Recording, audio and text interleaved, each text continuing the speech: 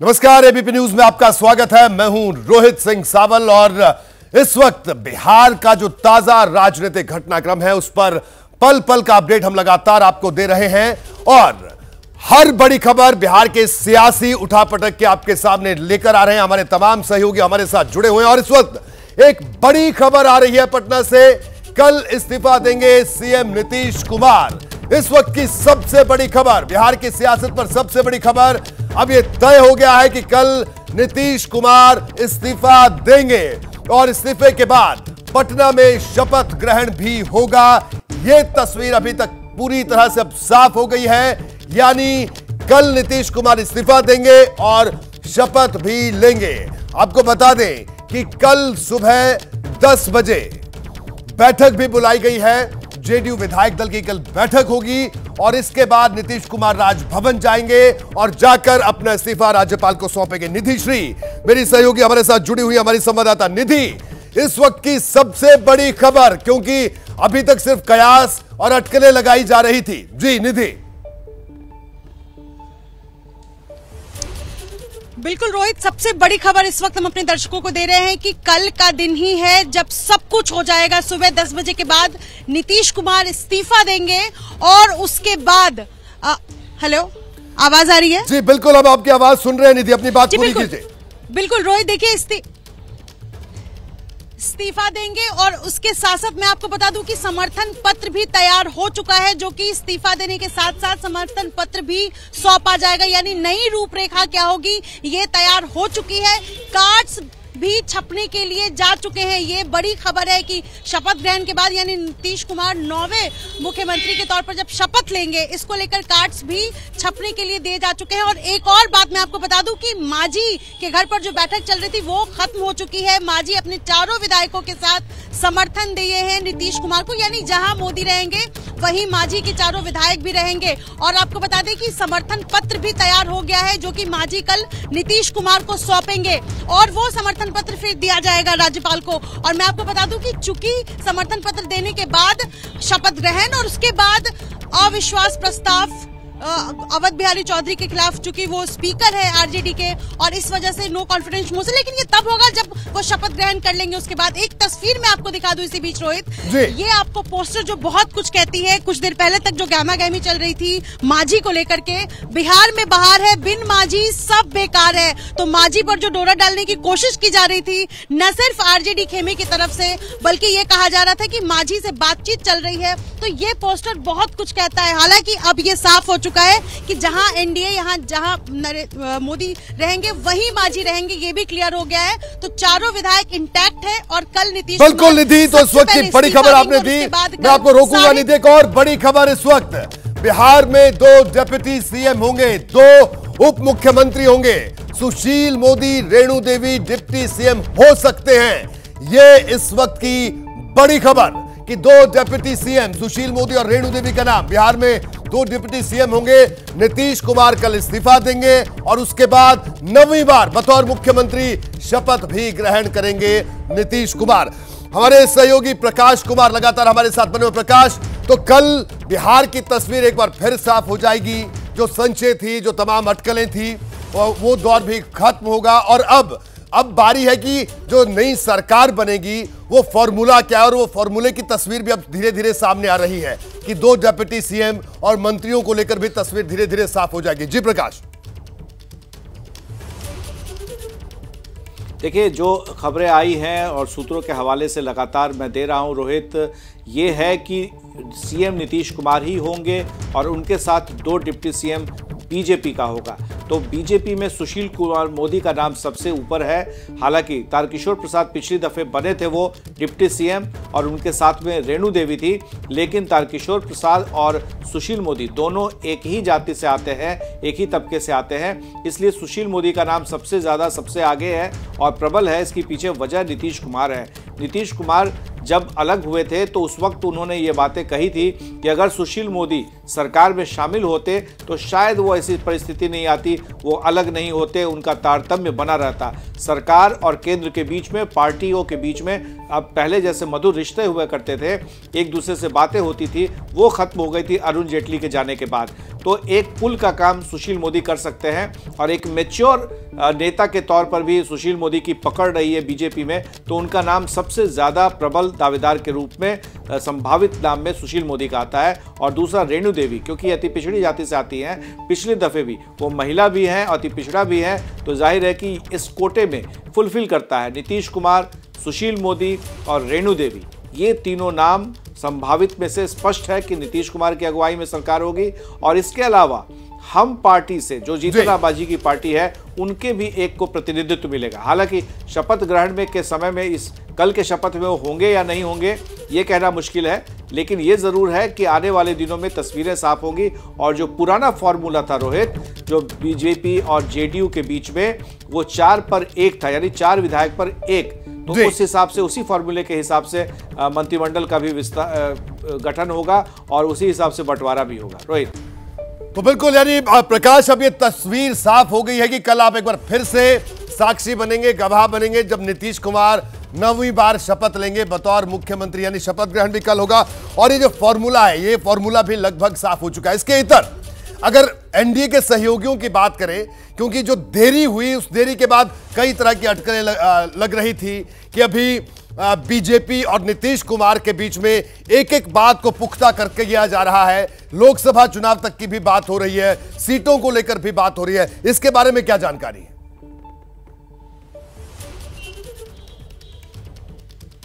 देखिए, रोहित एक एक बात तो स्पष्ट है कि नीतीश कुमार जो भी आ रहे थे इस गठबंधन में तो उस वक्त ये तय हो गया था कि उनके सीएम पद पर कोई चर्चा नहीं होगी, कोई कॉम्प्रोमाइज नहीं होगा। ये स्पष्ट था। और ये भी स्पष्ट था कि 2025 तक नीतीश कुमार जब 2020 में एनडीए से चुने गए थे तो बीजेपी ने ऐलान किया था कि 2025 तक वो सीएम बने रहेंगे। तो ज़ाहिर है कि लोकसभा चुनाव के मद्देनज़र और 2024 के लोकसभा चुनाव के बाद जब 2025 का चुनाव आएगा तब तक नीतीश कुमार ही सीएम रहेंगे। ये तय है इन लोगों के बीच में। हाँ ये ज़रूर है कि लोकसभा चुनाव के बाद क्या नज़रिया आता है क्या उसमें बदलाव आ सकते हैं ये फिर ये दोनों पार्टियाँ मिल बैठकर पूरी कर लेंगे बातचीत कर लेंगे। लेकिन 2024 का लोकसभा चुनाव जीतना बेहद ज़रूरी है बीजेपी के लिए भी और नीतीश कुमार के लिए भी। बड़ी खबर इस वक्त आ रही है आरजेडी के खेमे से। इस वक्त की बड़ी खबर आरजेडी के सूत्रों से एक और बड़ी खबर आपके सामने है कि नीतीश के इस्तीफे का इंतज़ार आरजेडी करेगी। इस्तीफे तक कोई कदम नहीं उठाएगी। सरकार से समर्थन वापस नहीं लेगी। यानी आरजेडी ये चाहती है कि पहला कदम वहाँ से उठाया जाए, क्योंकि अब तस्वीर पूरी तरह से साफ़ है, लेकिन उसके बावजूद आरजेडी ने यह तय किया है, जो बड़ी खबर आ रही सूत्रों के लिहाज से, कि आरजेडी इस्तीफे तक कोई कदम नहीं उठाएगी, सरकार से समर्थन वापस नहीं लेगी। यानी मैसेजिंग का खेल अभी भी जारी है। आखिरी दौर तक भी, प्रकाश, इसे किस तरह से देखा जाए? यही कि आरजेडी यही संदेश देने की कोशिश है सीधे तौर पर कि साहब, हम तो आखिरी वक्त तक खड़े थे, आपने नाता तोड़ा। देखिए, पिछली बार जब नीतीश कुमार छोड़कर गए थे तो लालू यादव ने नाम रखा था पलटू। तो ज़ाहिर है कि इस इस विषय पर भी जब उनके उनसे पूछा जाएगा तो कुछ इस तरह का ही जवाब आएगा, जो शायद नीतीश कुमार को सालों तक सालता रहेगा। और नीतीश कुमार लालू यादव भले भले भांति जानते हैं कि अगर उनको मौका दिया गया सरकार से बाहर आने का, खुद से अगर बाहर निकल आते हैं तो नीतीश कुमार फिर इस्तीफा भी नहीं देंगे। और सीधे सीएम बन, बने रहेंगे और पीछे से समर्थन आएगा।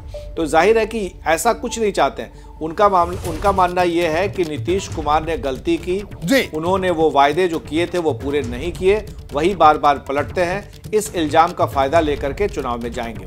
बिल्कुल। अभिषेक उपाध्याय भी हमारे साथ जुड़ गए अभिषेक तो आरजेडी के खेमे से जिस तरह से अभी प्रकाश भी बता रहे थे कि सीधे तौर पर एक मैसेजिंग कि वो बिल्कुल आरजेडी ने कहा है कि आखिरी वक्त तक जब तक नीतीश कदम नहीं उठाते, तब तक समर्थन वापसी नहीं होगी। जी अभिषेक। बिल्कुल, ये ये एग्जैक्टली exactly यही सच्चाई है, यही होने जा रहा है।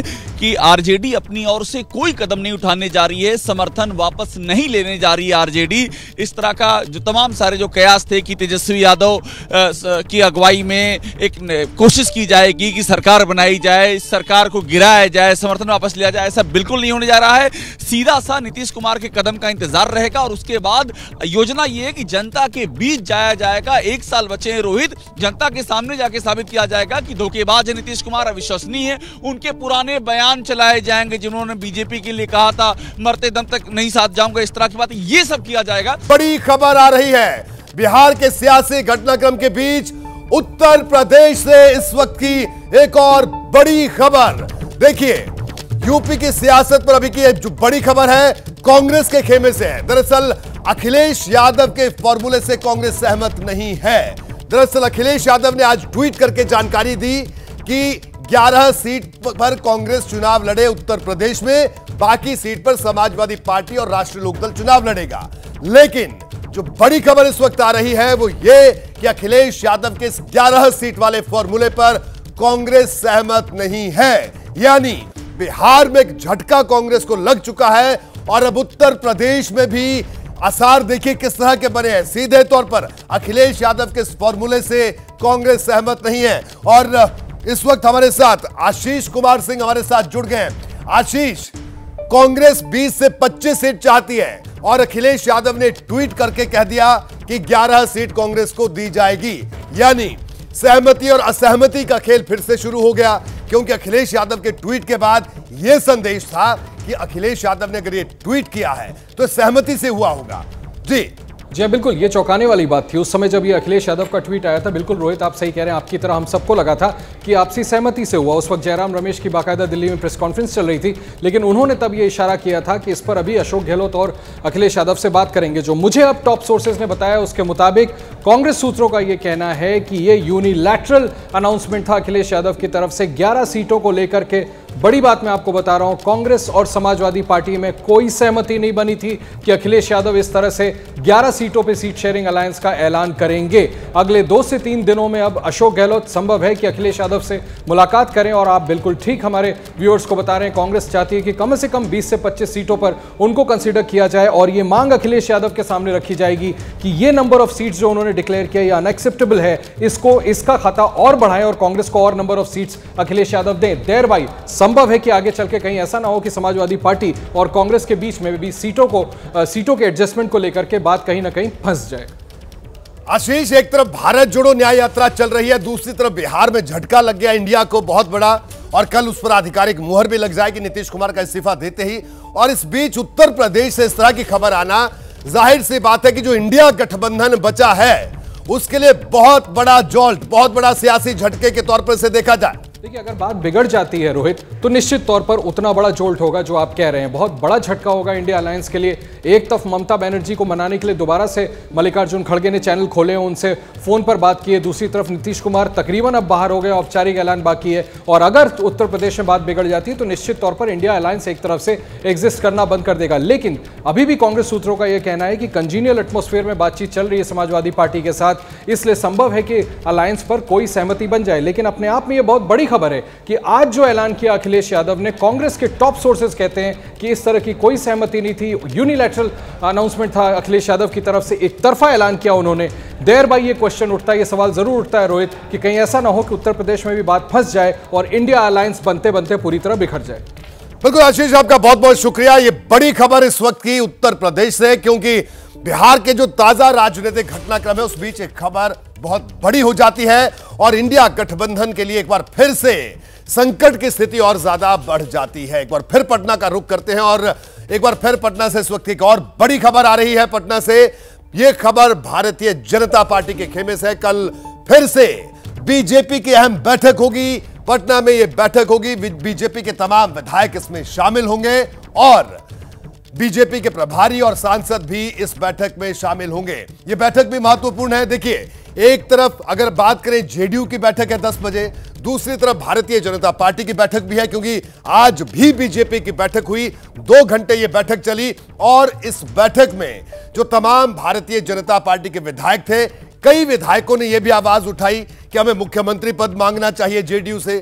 प्रकाश जी हमारे साथ लगातार बने जी, प्रकाश, क्या कहना है? कल की भारतीय जनता पार्टी की जो बैठक है यह भी महत्वपूर्ण है। यानी 10 बजे जेडीयू की बैठक और उसके बाद, क्योंकि आगे की जो प्रक्रिया होनी है, राजभवन जाना है, इस्तीफा सौंपना है, फिर शपथ लेनी है, लेकिन बीजेपी की बैठक भी काफ़ी अहम है। देखिए, बीजेपी की बैठक है, चाहे हम की बैठक है, जो पार्टियाँ एनडीए में शामिल रहेंगी उनके विधायक दल की बैठक होगी, ये औपचारिक बैठक होगी। अभी क्या है कि एक बैठक हो रही है, सबसे मिलने का, बात करने का, सबकी बात सुनने का, समझने का। लेकिन ये बैठक औपचारिक होगी, जिस बैठक में ये तय किया जाएगा कि समर्थन दिया जा रहा है, एक सुनाया जाएगा लोगों को फरमान कि केंद्रीय नेतृत्व ने तय किया है और हमें मानना है और इस हिसाब से वो तैयारी रहेगी कि जैसे ही नीतीश कुमार इस्तीफा देकर के आएँगे, समर्थन का पत्र सौंपेंगे राज्यपाल को और समय ले लेंगे, इसके बाद से तुरंत आएँगे, फिर एनडीए की सामूहिक बैठक होगी। एक अणे मार्ग जो सीएम आवास है उसमें और फिर वहाँ पर नीतीश कुमार नेता चुने जाएँगे। तो अब कल जो कुछ भी होना है वो औपचारिक बैठकें होंगी। जिस बैठक में जो विधायक दल की बैठक होती है विधानमंडल दल की बैठक होती है विधानमंडल दल से मेरा मतलब है कि विधान बिहार में दो एक बिहार विधान परिषद है और एक बिहार विधानसभा है। तो दोनों के नेताओं की यानी दोनों एमएलए एमएलसी भी बैठेंगे और तय करेंगे और उसके बाद फिर जो फैसला होगा उसके आगे की कार्रवाई होगी। जी। बिल्कुल तो ये बड़ी अहम खबर और आपको बता दें कि पटना में हिंदुस्तान आवाम मोर्चा के अध्यक्ष जीतन राम मांझी की अगर बात करें तो उनके यहाँ पोस्टर लगा हुआ है, निधि श्री जहाँ पर मौजूद है और पोस्टर में लिखा है कि आप देख सकते हैं, पटना के, कि बिहार में बहार है, बिन मांझी सब बेकार है। ये पोस्टर और ये पोस्टर बिहार में चर्चा का विषय इस वक्त पटना में बना हुआ है। निधि श्री इस पोस्टर के ठीक नीचे खड़ी हैं। निधि, मैं चाहूँगा एक बार फिर से आप दर्शकों को बताएँ, और बैठक भी थी आज, जीतन राम मांझी की बैठक खत्म हुई। उस बैठक के बाद उन्होंने क्या कहा जो आपकी उनसे बात हुई?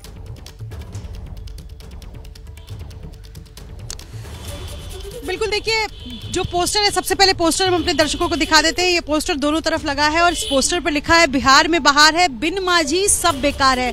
जीतना मांझी की तस्वीर, वही जीतना मांझी जो कल तक नीतीश कुमार के बारे में कह रहे थे कि वो हमें रबर स्टाम्प समझते हैं, वो हमें समझते हैं कि इसको कोई सेंस है, इसको कुछ बोल नहीं आता, जो तमाम बातें नीतीश कुमार ने उनको कही थी। लेकिन सवाल यह है कि जीता माझी अहम रोल प्ले कर रहे हैं। ये आपको बिहार का मैप नज़र आ रहा होगा और ये पोस्टर के ज़रिए दरअसल ये संदेश देने की कोशिश है कि कितना भी हमें इग्नोर करोगे हम कहीं ना कहीं स्टैंड करते हैं इस पूरे आ, सियासी घटनाक्रम के बीच। और यही वजह है कि जीतन राम मांझी अपने चार विधायकों को लेकर बिल्कुल कोर बैठक जिस तरीके से की जाती है गुप्त बैठक की है और इस पर मंथन हुआ है। ये भी चर्चा दिन भर थी कि क्या उनको मनाने की कोशिश की जा रही है आरजेडी की तरफ़ से कांग्रेस की तरफ़ से। खबरें ये भी आई कि भूपेश बघेल उनसे मिलने के लिए आ सकते हैं लेकिन इस बीच बैठक लगभग दो घंटे की हुई और उसके बाद ये क्लियर मैसेज पब्लिकली उनकी तरफ़ से दिया गया कि हम किसी भी स्थिति में एनडीए के साथ ही रहेंगे हम कहीं और नहीं जाने वाले हैं। जी रोहित। बिल्कुल निधि और एक और बड़ी खबर आरजेडी के खेमे से इस वक्त आ रही है कि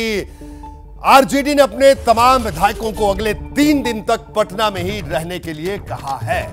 आरजेडी के सभी विधायकों को लालू यादव का निर्देश है कि अगले तीन दिन तक पटना में ही रहें तो आरजेडी के तमाम विधायक पटना में रहेंगे। आरजेडी की तरफ़ से देखिए बीच बीच में जो खबरें आ रही हैं, अभिषेक का एक बार रुक करते हैं। अभिषेक, तीन दिन तक आरजेडी के विधायक पटना में रहेंगे, लेकिन कल नीतीश कुमार इस्तीफा दे देंगे। और उसके बाद एनडीए में शामिल हो जाएँगे, सरकार फिर बन जाएगी। लेकिन आरजेडी के खेमे से जो इस तरह की जो खबरें आ रही हैं, ये किस तरह की मैसेजिंग देने की कोशिश है? देखिए, रोहित, एक बीस की लकीर है वो समझना होगा। आरजेडी का स्टैंड क्लियर है कि जब तक नीतीश कुमार इस्तीफा नहीं दे देते, तब तक आरजेडी कोई कदम नहीं उठाएगी, ताकि ये हो जाए कि पहला कदम नीतीश कुमार ने उठाया। ये जो टूटा है, इसकी जिम्मेदार नीतीश कुमार। लेकिन जब वो टूट जाएगा, जब सरकार, नीतीश कुमार इस सरकार से इस्तीफा दे देंगे, और उसके बाद जब नौबत आएगी ट्रस्ट वोट साबित करने की, वो एक ऑप्शन रहेगा। और देखिए स्पीकर भी आज की तारीख में आरजेडी का ही है। उसको किस तरह से वो किस तरह से चेंज किया जाएगा? उसमें क्या कवायद होगी, ये बहुत सारी इंट्रिकेसीज है, रोहित। लेकिन एक बीस का बेंचमार्क है, वो है नीतीश कुमार का इस्तीफा देना। उसके पहले और उसके बाद की जो सिनारियो है, वो डिफरेंट हो सकती है और इसीलिए तीन दिन तक रुकने की बात जो है, वो सामने आ रही है। रोहित।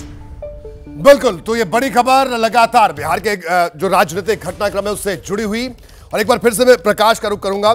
प्रकाश, अब तस्वीर साफ़ है, लेकिन जो एनडीए के जो बाकी सहयोगी दल है जीतन राम मांझी की बात अभी निधि बता रही थी, लेकिन लोकसभा चुनाव को जोड़कर, अब अगला पड़ाव यह है, बिहार में सरकार फॉर्म हो जाएगी। जो दिल्ली से खबरें आ रही है, वो ये है कि भारतीय जनता पार्टी ने लक्ष्य तय किया है बिहार में 40 सीट जीतने का, और नीतीश कुमार से जो गठबंधन है, इसके पीछे बड़ी वजह बीजेपी के लिहाज से ये है। तो सीट शेयरिंग को लेकर भी चर्चाएँ शुरू हो गई दिल्ली में, कि बीजेपी ज़्यादा हिस्सेदारी मांगेगी इस बार बिहार में। देखिए ये जो फॉर्मूला है मुझे लगता है ऐसा कि जो पिछली बार जो फॉर्मूला था उसी हिसाब से पिछली बार क्या था? सत्रह सत्रह सीटें हुई थी सिर्फ़ एलजेपी के एलजेपी था उसमें तो इसलिए उसको बाकी सीटें छः सीटें दे दी गई थी। लेकिन इस बार ज़्यादा लोग ज़्यादा जगह बटेगी।